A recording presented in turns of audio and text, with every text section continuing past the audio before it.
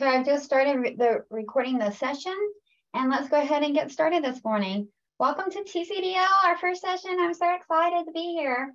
Um, so welcome to this session. It's our Birds of a Feather Accessibility and Digital AV Collections um, at the Texas Conference of Digital Libraries. My name is Cynthia Henry and I use the she, her, her pronouns. Um, I am the College of Human Sciences librarian at Texas Tech University and um, I am the member of the TCDL Planning Committee. I am pleased to be your session moderator today. So just a bit of housekeeping. We will, um, we want everybody to notice, um, I'm dropping something in the chat. Um, Texas Digital Library and the TCDL Planning Committee are dedicated to providing an experience for everyone that is free from all forms of harassment and inclusive to all people. Um, so please note this um, message I dropped in the chat. And if you needed to read the code of conduct, it is linked there. Um, and if you have any questions, just let us know. We'll be meeting until about 1050 um, and feel free to take breaks as you need.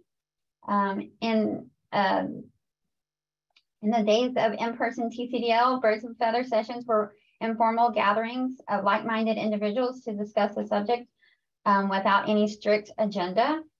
Um, this for format allowed the group to meet um, fellow practitioners and discuss approaches, successes, and challenges, and mostly importantly, build a community. Um, today's presenters hope to recreate the spirit of the Birds of a Feather um, in person. So there will be no presentation or slides today. Rather, we, they will be leading a conversation to provide attendees with an informal environment to share experiences and ideas freely. Together, we can continue to build a TDL community dedicated to accessible AV. So I'd like to say, um, feel free to drop your questions in the chat or say hello in the chat um, and let us know where you're from or uh, any resource that you would like to share. Um, feel free to unmic yourself and ask a question as we're participating in a discussion. Um, but I will be watching for your questions in the chat and share them um, with the speakers as well.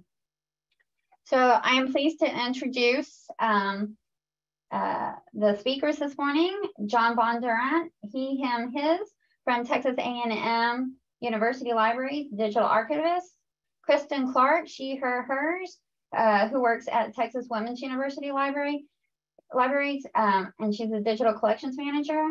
Mirko Hanke, um, he is from, uh, he, him, his, and he is from uh, the University of Texas Libraries, head of preservation and digital stewardship. Uh, William Hicks, who works at University of North Texas, um, the head user interfaces. And then Melissa Morrow, she, her, hers at Texas Tech University Libraries, library associate. Um, Mark Phillips, he, him, um, his, also at University of North Texas uh, Libraries, associate dean for digital libraries and Emily Vinson, she, her, hers, from Houston, University of Houston Libraries, audiovisual archivist. Okay, take it away. Thank you very much. And um, again, good morning and welcome to this Birds of a Feather session, also on behalf of my co-panelists. Um, with this session, we, uh, to some extent, have come full circle. Um, about a year ago, a developer from UT Libraries, Kevin Price, and I presented on a then recently finished project that allowed us here at UT Libraries to publish audio and video material to our public-facing collections portal. And I touched upon our internal guidelines for captioning and transcribing content. This um, happened to spawn interest notably in Mark Phillips from the University of North Texas Library, and he suggested to establish um, a conversation on the platform of TDL around accessibility in digital AV collections to share knowledge and experience and to perhaps um, help to then further weight to the case for accessibility beyond um, any aspects of legal compliance. Um, we held a kickoff meeting in October 2021, 21, and we formed a steering committee comprised of colleagues from different institutions across Texas. And that is the panel members um, of today largely um, comprised of colleagues from different institutions across Texas who use different workflows um, and technologies to make very different um, audiovisual content available to the public and provide accessibility measures for these collections. Um, our conversations have been inspired by um, a similar initiative uh, within the TDL space around web archiving um, our accessibility in digital AV collections working group is also not the first endeavor to investigate and learn about accessibility for library hosted content on the platform of TDL. Um, there was an earlier working group that performed a survey about accessibility in um, institutional repositories and published a very interesting report in 2019. And um, I believe we have a um, link to that report in our um, outline or agenda for today. Um, but we considered it timely and relevant to zoom in a little more for our current working group on audiovisual or time-based content that libraries and archives host and want to make accessible. Um, we created a mini series of two webinars that happened earlier this year, and those are available to rewatch, to watch or rewatch with captions on the TDL website, and um, you can provide links to these um, in the chat. Um, the first webinar covered um, foundational questions of why making uh, content accessible is important and useful. We covered technology, standards, workflows, as well as legal aspects.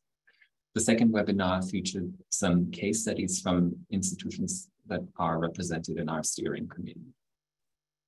This Birds of a Feather session is the culmination of this mini series of webinars with questions for discussion that go beyond the kind of basics of fun, well, basics, the fun, fundamental questions that we had touched upon in the webinars. Um, our agenda for today, as we mentioned, is structured around um, some questions. Uh, the links been shared uh, in the chat and is also on Sched. Um, we do also want to take some time at the end to discuss how or if we could continue this work in what form or frequency. We, um, as Cynthia mentioned, intentionally decided to not have slides. We do want this to be a conversation, not a lecture. Um, so we do invite you to watch the webinars again, uh, watch them or watch them again um, to learn more about fundamental concepts. At the same time, we do not want to discourage anyone from asking um, or discussing with us today, um, even if you haven't watched the webinars yet. So um, in other words, also don't fall for imposter syndrome. Um, maybe you're new to this conference, or maybe you're new to this field, uh, to this topic. The topic might not be considered high priority in your organization. Uh, we do not want anybody to feel bad about this. Um, this is an informal conversation among like-minded, friendly colleagues at different stages in their respective learning journey. So um, we invite you to consider this a brave space um, for learning and discussing. Um, so before I stop talking, I also want to uh, quick, uh, quickly thank the TDL staff uh, for their spectacular support um, throughout this past year and in general for being such an awesome and tremendously valuable organization. Um, so if your institution isn't already a member, consider membership. Um, with this, I would like to enter um, the discussion, um, but we do have a quick ask for. Um, we created a survey about accessibility in AV, and I'm not sure if anybody on the panel might be um, introducing that survey.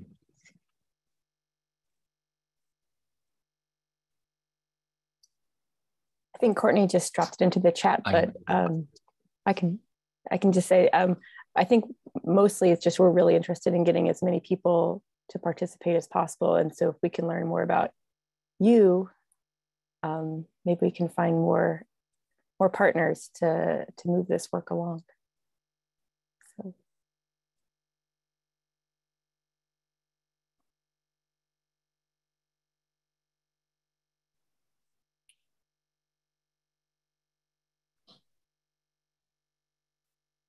Then, um, with that, we might um, delve right into the first question that we um, provided for today.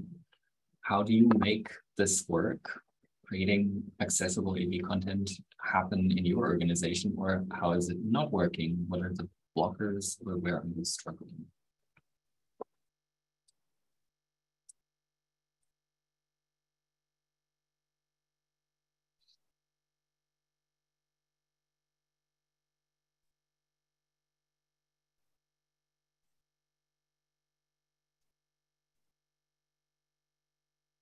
So we've got several larger collections of oral histories that have been transferred from reel to reel or from um, the regular cassette tape to digital. And so the quality is not such that we can use automated services in order to um, get those transcribed or provide any kind of captioning.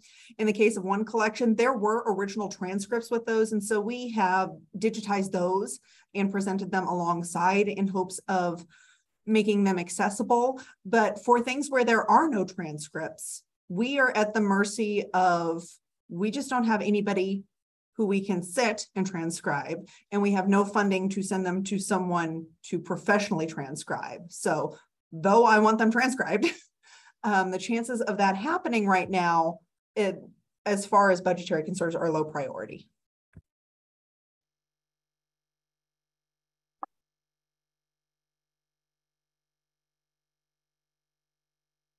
Do a lot of people have sort of that like desire but no budget situation?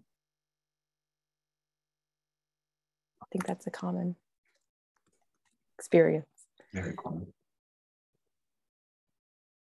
And I'm hoping for someday a graduate student. But the other thing that we have then is that, um, so these are oral histories from settlers here in Kansas. And um, there's some pretty problematic content in there. And we are an undergraduate institution. And I had one student a couple years ago working on one, and she's like, I just can't do this. I cannot listen to you know them talk about lynching a human being and then go on to talk about christmas like it's nothing. And so it's not really a good candidate for student work because i mean there's some stuff in there that um, you know even professionals we're going to have a hard time dealing with and putting that on students is a bit much it seems. Oh i don't feel like attending. I'm going to start saying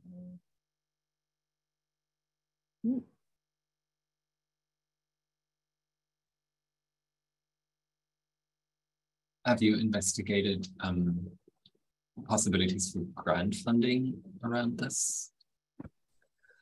So we've been denied for about three different grants because at the end of the day, nobody cares about Kansas.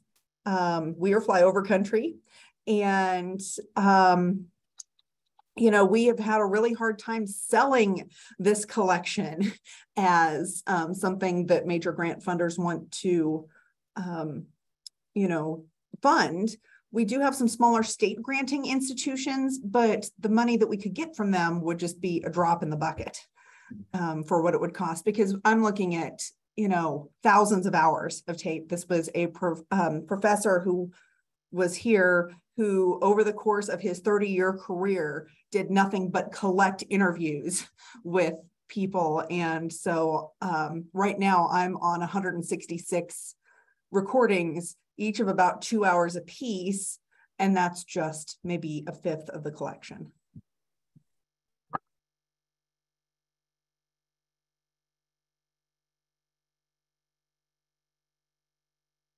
But if anybody knows of granting institutions who would be interested in this from an accessibility standpoint, I would love to, you know, I will try anything.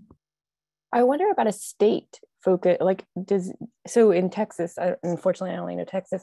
We have like um, TSLAC, Texas State Library Archives Commission, and they have some like TexTreasures grants, and that's I think the money actually comes from um, IMLS, but it gets distributed to all the states and then the states distribute the money. So I wonder if there's, you know, it being so specific, I wonder if there's like a state centric option. Um, there is. We've got the Kansas Humanities Council and the Kansas State Historical Society is the one that distributes the state IMLS funding. And um, we were on their list, but even so, the amount of money um, we're going to get is still not enough to do to have the whole thing. But um, that's definitely on our radar and something that we are hope we're working with our funding office here to try and get those state grants because um, I don't know how it is in but other institutions, but here we have to go through our, it's our office of sponsored scholarship and sponsored projects. And they're the ones that tell us what grants we can apply to and when and what we can do with the money when we do it. Um, I'll chime in and say that here at UNT, we've hired a few students to work on transcripts and captions. Um, and when I've hired them, I do have a screening question for um, problematic content. Um, all of them have gone through and you know they've, they've said that they would be fine with it. Um, they tend to all be undergraduates, freshmen through sophomore. Um, they never on average from what I've seen so far work for more than an hour or two at a time. and you get a lot more bang for your buck from work study cash than you are going to be from like a GRA. I mean, it's like a lot cheaper per hour. Um, so those are just a couple of things to think about if you're doing some of this work in, internally as well. Those are great ideas. Yeah, one other um, kind of observation that I've, I've found on, on these kinds of projects is it's, it's really challenging to, especially with these large projects that you get discouraged because there's almost no possibility of one group funding the entirety of anything right? But uh, and, and, i think that we kind of run into these like ah if you can't get the whole thing it's not useful. Um, but and and so we found a lot of value up at unt of, of doing pilots working with our local administration to say you know we need $2000 $5000 to do a pilot get all of the process. And so then once you have a process it's a lot easier to to to show how things are going to move from point A to point B, as opposed to saying, you know, we need the money to do everything and do the whole like start from scratch. And so um, that might be another option is to try to look for some local institution. And it doesn't have to be huge amounts. It can be just to show how the process works, show it from beginning to end, and then show the final product. And then there's a lot of, um, oftentimes that's more, um, it's easier for people to see what the actual output's going to be. And I'll follow up with Mark too. Like you did say that um, your content is problematic and that you feel like it needs to be done by a human, but I, I would encourage you to think in terms of um, some of your content through um, AI generated systems as a triage type situation. Um, it's it's it, it, getting 60% or 70% or 80% accuracy is better than 0%. And you can always have students come back and fix those problems. Now that one, that one I can probably use. That's a great uh, transition to our next question, uh, which I'll go ahead and um, Courtney's put in the chat um, about tools used. So um, just like William said, I think a lot of us who are on the steering committee find a lot of use out of using um, kind of AI tools as the first pass and then correction. So um, what have other people found useful? And what specific tools have you found useful?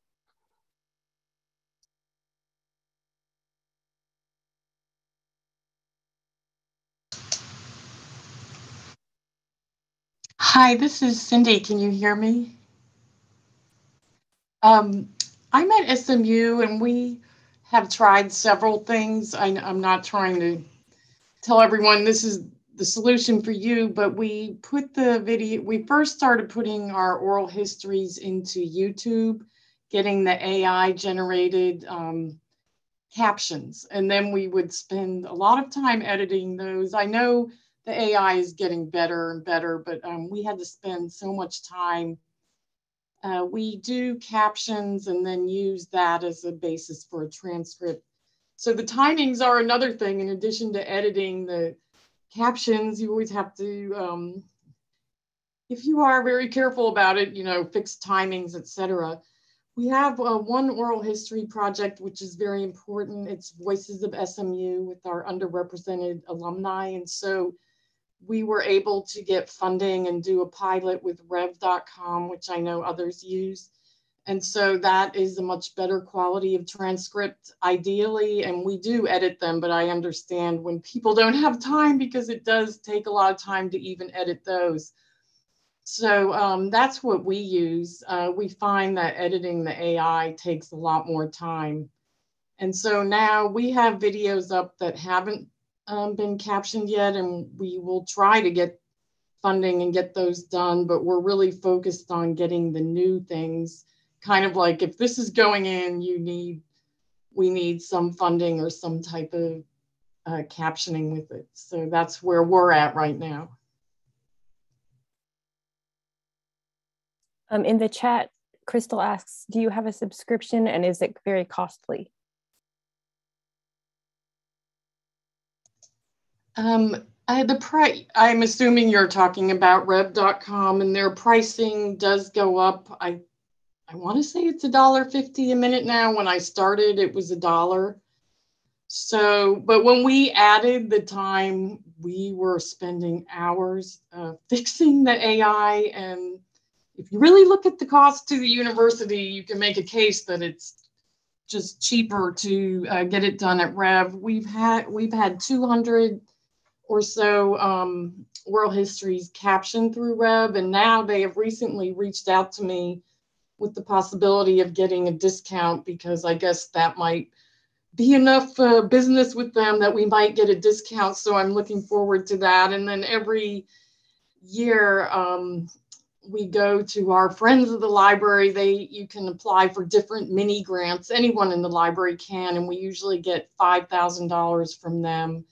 And this is a project with our history department. So they go to their dean and we just go everywhere with our cup out because really it has saved us so much time and the whole, uh, as we all know, these oral history projects are very time intensive, either on the production or the captioning or the post processing, the metadata creation, et cetera. So uh, we're, we've kind of reached the point because this is an important project for a lot of um, units in our university that if we can't get the money for Rev, we're just going to have to really scale it back or um, wait until we get more money. So uh, I guess, you know, um, it is a bit expensive, but if you really look at the time and add up all the time that you and everyone else is spending, I guess in a way you can justify it that way.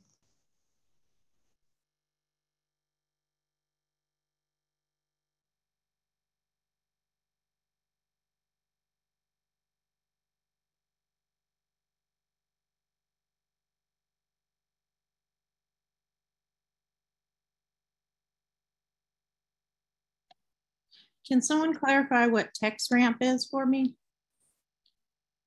I'm looking in the chats.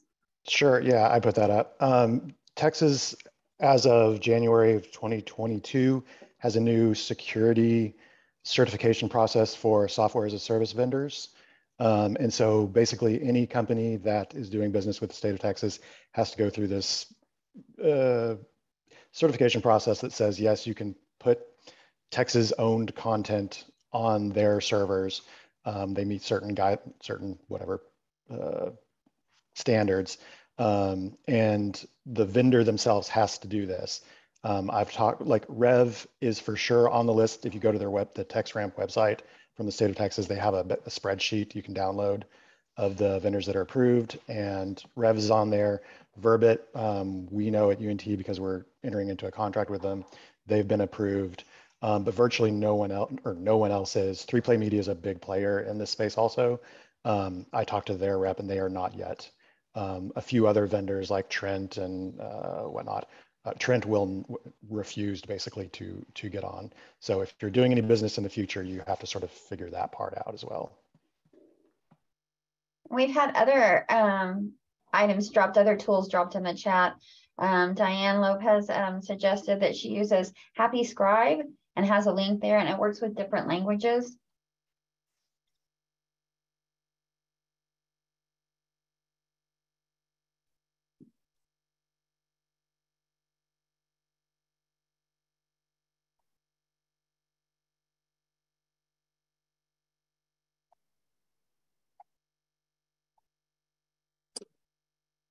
Um, we're um, at time to move on um, with the discussion. Um, the next question is, what are your experiences with crowdsourcing of transcripts and captions?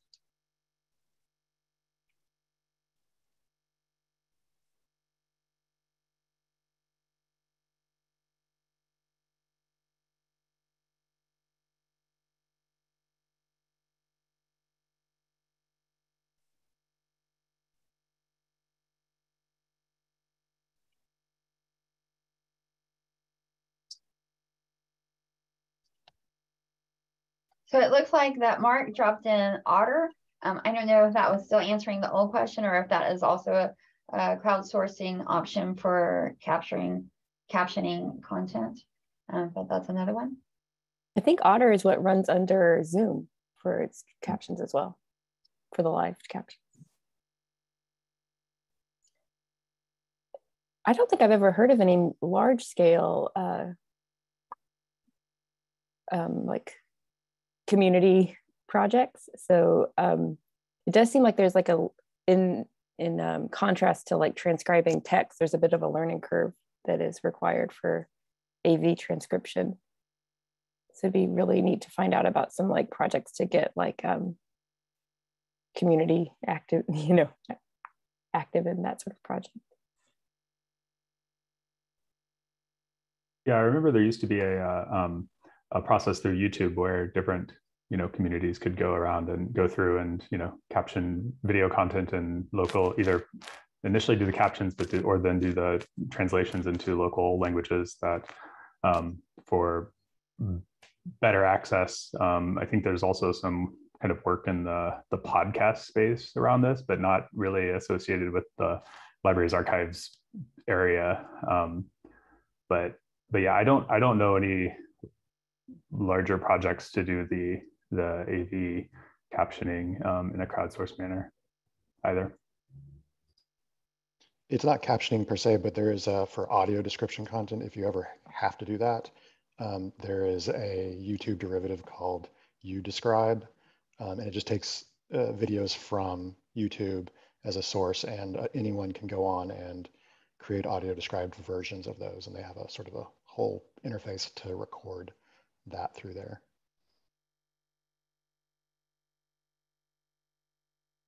I think one challenge with a crowdsourcing project goes back to what um, I think Elizabeth was talking about earlier with um, potentially offensive content. And I think oftentimes with audiovisual content, we don't know what's on there. So there's no way to um, know what people are going to run into. And so putting it out in the world has like a little bit of maybe, I mean, it depends on the collection, of course, but there is, I guess, a little bit of potential risk involved.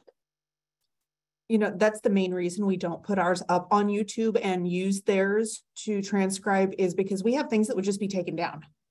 Um, because the descriptions of racial violence i mean they very clearly violate um, youtube's um, service agreements. So it's just not an option for us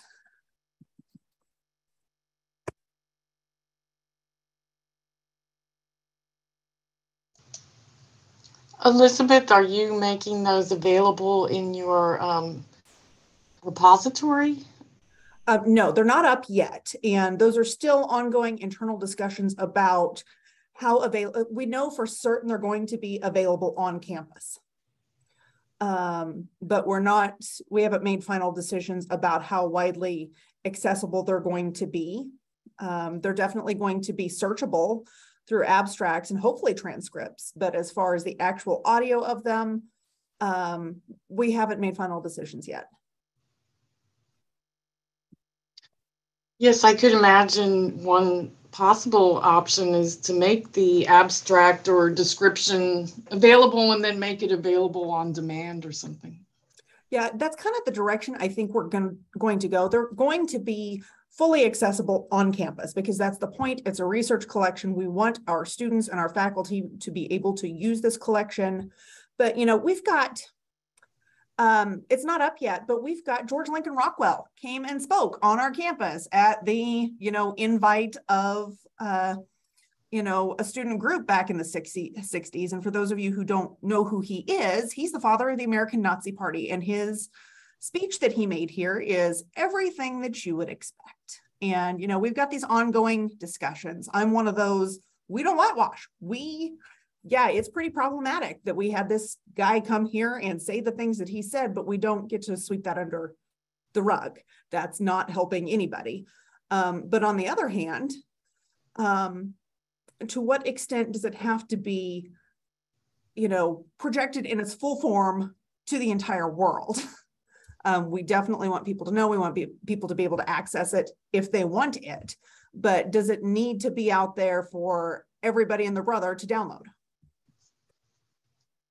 Yes, and you could make available maybe a clip of it or, uh, you know, a summary of what's discussed and then make it available um, just by getting dealing with someone in the library directly. I think that might be something. If I were projecting myself to be you, which I'm, I'm not, but um, that's something I might consider doing.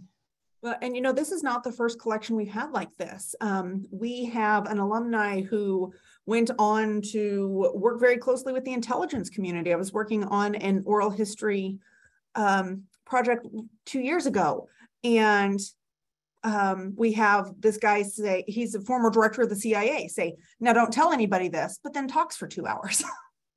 and so trying to figure out, can we put that up?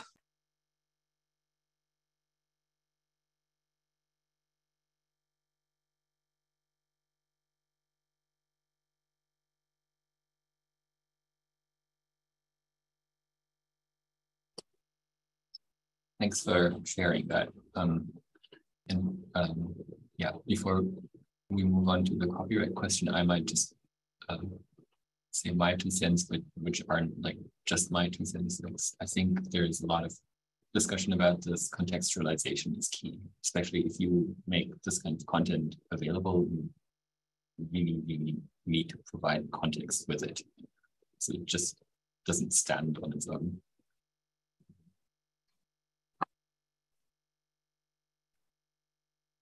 But um, we do want to move to the next question then.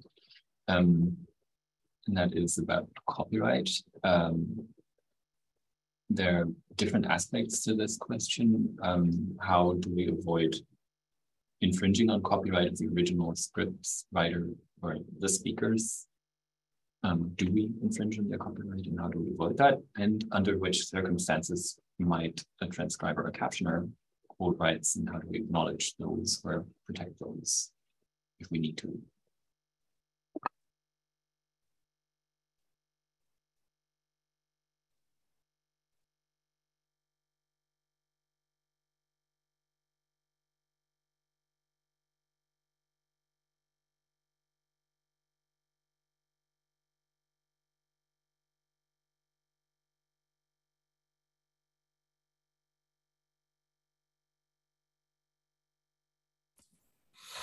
This is Crystal. I can say that we have a librarian who um, her focus is copyright. So anybody who has any copyright concerns, um, we always channel them to her. So we are fortunate enough to be able to um, really reach out to her as a resource.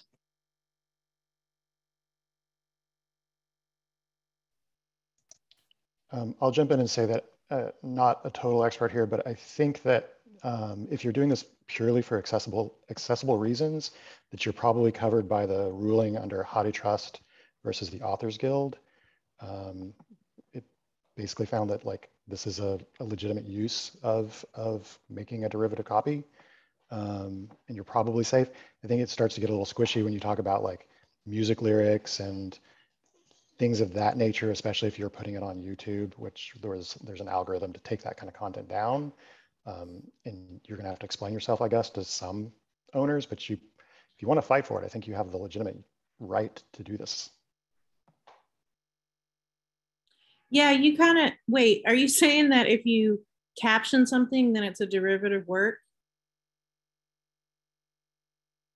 I know, Mirko. That's what I'm like. Hmm, because my other question is that was I was thinking of. I'm not trying to just make muddy water here, but I was also thinking about our copyright officer for the library and like she can answer specific questions, but I haven't really taken the time to do like a policy, which was what would be useful to sort of try to capture, you know, so that the different nuances of each collection. I mean, I, again, I don't know, but I think that like if the purpose is to to make it so that blind, deaf users and other users with physical dis disabilities have access to equal access to the content, um, and they don't have access to it in another way, and there are legal reasons why you need to do this, um, that a that an original author doesn't really have a good claim. I mean, you're just you're you're making their words available to to a broader audience. You're doing them a favor in a lot of ways. Um, I mean, it, it, I guess it also gets squishy around the edges of like, if you're making a complete uh, verbatim transcript of a piece of content, or if you're doing some edits on it for clarity, which most of us will end up doing, like at what point does it, you know, cease to be an exact copy and a derivative work? It, it's, there's just a lot there. Yeah, uh, I'll add here, this hasn't quite come up in terms of um, like transcripts and uh, and captioning. We're at A and M. We're really just uh, beginning to move into this with our um, AV collections, but uh, we did have one collection. Uh, I think the first uh, collection of audio content, and which were field recordings from done by a professor in the um, late 30s and early 40s, and um, included in that were um, he he also was a doctoral student at uh, Iowa, and he happened to attend um, a function, and there were at the um, writers workshop, and he recorded a well-known, very a very famous American poet, and so we have these amazing recordings of this poet reciting his own work, and we reached out to the um, his estate and publisher and said we'd like to put them online. And one of the first things they asked was, "Are you going to have a print uh, transcript of the work?" We said, "Well, we weren't planning on doing that at that point." And so at this point, we re- I mean, we're still waiting to hear back from them. and we haven't put that content online, although some of the work is in public domain and some of it is not. So, I mean, I think sometimes you just do have to uh, of course, respect the rights of the of the creator and copyright holder, and balance that with with what would be the the um, you know the the usefulness and, and of uh, for for um, research. Um, some of these some of these works are like these are the only known recordings of this of, of this work. Um, also, and just seeing Emily's um, uh, content. We did have uh, a series uh, from uh, that was produced by WNYC in the 50s, and we reached out to them. It was a um, these were originally broadcast by the uh, Texas Forest Service, and we have the only known complete run of this radio series. And they said, we just said, "Is this okay? We're putting it up for." Um, uh, educational purposes, and we'll include you know, you you're the owner of the rights and to contact you for any other reuse. And they said that's fine with us. So again, we respected that use. Um, now we're not, we don't have full transcripts of it yet. We haven't uh, approached them about that. But again, I think in terms of uh, copyright, it's it's always that's a good way to go. But also when you get into unpublished material, it's even it gets dicier. And um, but but I think that uh, the the accessibility is you're not really changing the content; you're enhancing it.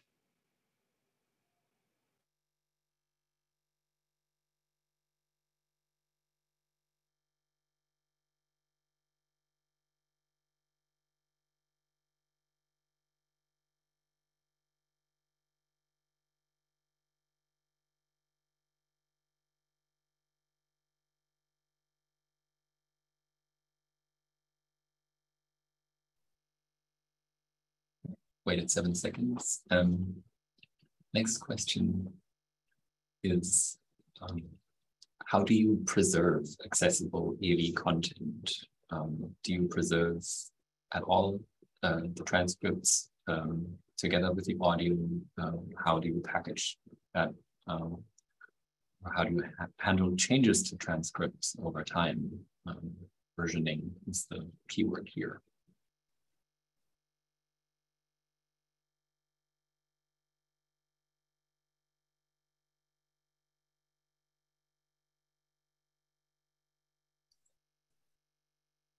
One thing we've been doing, or I'm excited about, we upgraded to, so here at University of Houston, we use Avalon and um, we have some like clever microsystems developed in-house to get our content both into preservation storage and to um, post online. And so now we, they're working their magic so that our um, um, caption files will be go into our packages, our archival packages to go into preservation storage in Archivematica, which is great.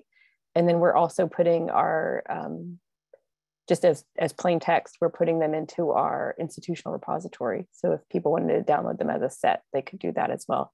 But I am excited that we're gonna be proactively putting them in preservation storage, which is something we hadn't been doing up to this point.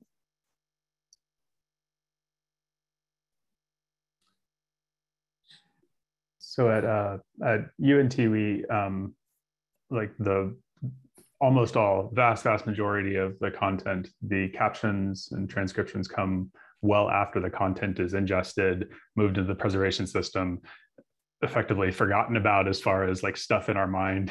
Um, and then at some point later, the, the captions will come. And so we're, we're taking a little bit different approach than trying to push all of that back into preservation packages, um, partly because of how our system's been developed. Um, but we do all of our, because these captions generally are all text-based, they work really well within a kind of text versioning system, software versioning like Git, um, and we make use of a local GitLab instance where all of our captions go, which give us not only a basic editor for editing these files, it allows us to version things, it allows us to push and pull changes into various software environments and allows us to you know, work within kind of our, our greater infrastructure, but also then provide um, versioning and a way to make, you know, accurate copies over multiple systems. And so we've we've had some value in that um, over time. So content goes in, it gets into the preservation repository as the archival copies of the, the bit streams. And then at some point, captions happen and then that gets updated. We, we treat it in a very similar way as we do descriptive metadata, which will change over time. And so, you know, it, it will just constantly sit there and, and uh, accrue value and accrue changes um, as time goes on. Emily, um, I wanted to ask, sorry, this is Lauren. I don't have my video on. Did you um, say that you were putting the caption files in the institutional repository? I'm assuming yeah. the IR is separate from the special collections because that's an interest and that would kind of, I would assume that would be like that, that would then be preserved in the IR system. Yeah. So our IR is through TDL. It's uh -huh. the, help me out. The name of it is the something. We call yeah. it institutional repository, but it's through Texas Digital Libraries Consortium, I think. I hope I'm not speaking totally wrong. Dataverse is the thing. Um, so um, DSpace, thank you, Laura. um, good to have colleagues in the chat. Um, so yeah, so it will be preserved again. And with our caption files, we're gonna strip, we're just using like a bash script to strip out the like time coding. So they're just text. So like if someone wanted to do like um, like text analysis on them is the idea with that.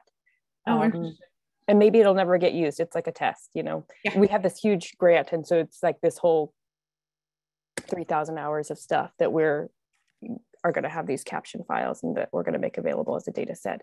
And who knows what'll happen? Um, it's like hopefully it put it out there and somebody uses it kind of situation. But gotcha. And well, also they're like that, much, hope. You put not it that big so it's okay you know they're yeah yeah yeah. Thank you. Thanks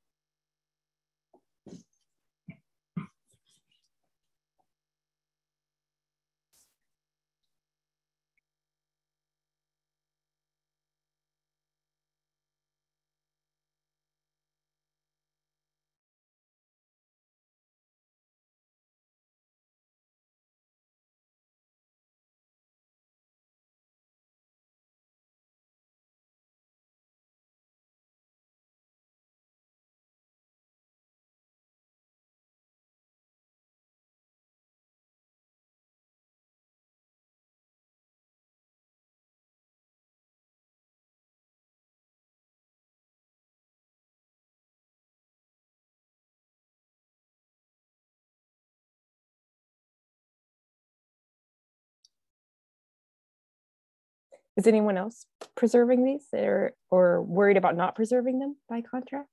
Are they just, do they only exist as captions? Which I think is fine too, if that's what you're doing. No shade.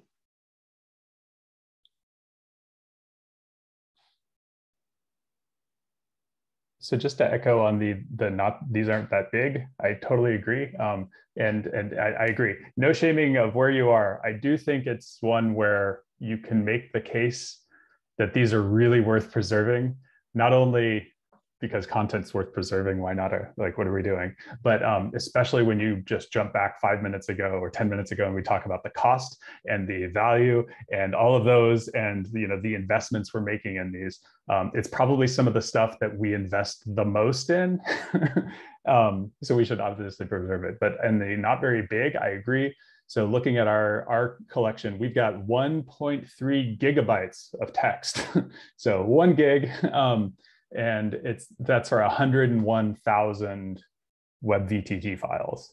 And so that's it's not that big in the grand scheme of things. I think the it's it's a lot of content file wise, and I think it just gets it's it's other stuff, um, but it it is definitely something that I think is is worth having the conversation about and asking and kind of making sure that they're included in those discussions of of content.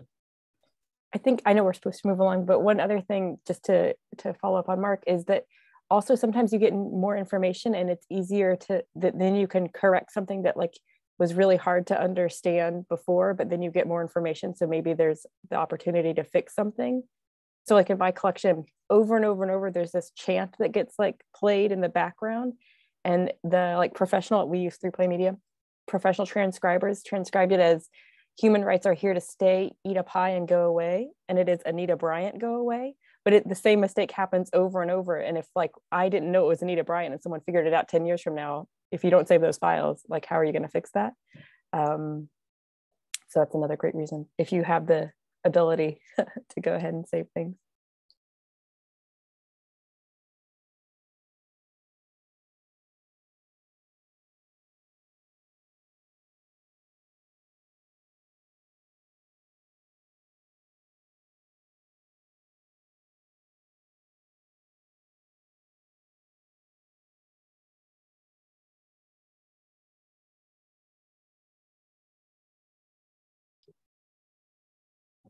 Um, brings us to our final discussion question.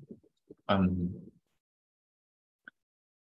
and um, this is where we're very curious uh, to hear um, from others um, how much value you see in this continuing and in what form this might be of value. We have um, started, uh, it's not, we haven't built on it yet, a wiki space on the TDL um, uh, Jira, no, Con Confluence instance um, that we could or plan to fill with some of the content that we've used to prepare the webinar series. The webinar series, as I mentioned, the two webinars are available on the website um, for rewatching on the institutional repository, actually, not on the website. Um, and we have this Birds of a Feather session and the very interesting discussions that we're having right now. Um, how and in what form should we continue with this? You be interested in having more webinars or should we have other discussion sessions like these outside of the conference?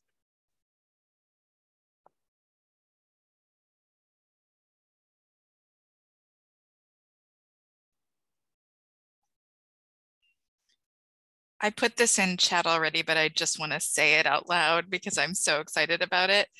We were, we created the survey in order to try to find out how TDL can be more of, of service to our members um, with regard to AV accessibility. And so the fact that y'all have more than doubled our data during this session is so meaningful. Thank you so much for that. It'll help us move these conversations forward when we when we reconvene as the initial group